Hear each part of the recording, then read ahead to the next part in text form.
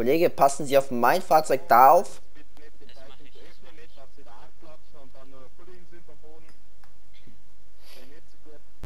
Oh, was haben Sie denn da für ein Fahrzeug? Könnte ich mein Fahrzeug mit Ihrem auftanken? Unser Auto, dein Auto. Okay, mein Auto würde in der Safe Zone